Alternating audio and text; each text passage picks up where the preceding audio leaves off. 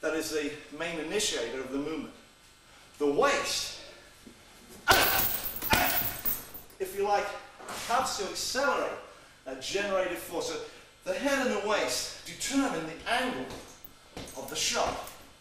But they're working reflexively together.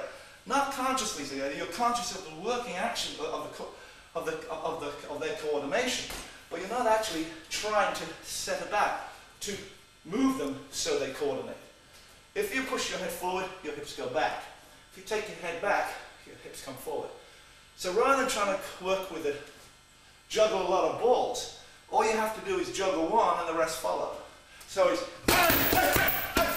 it's the head which is telling the body where to go.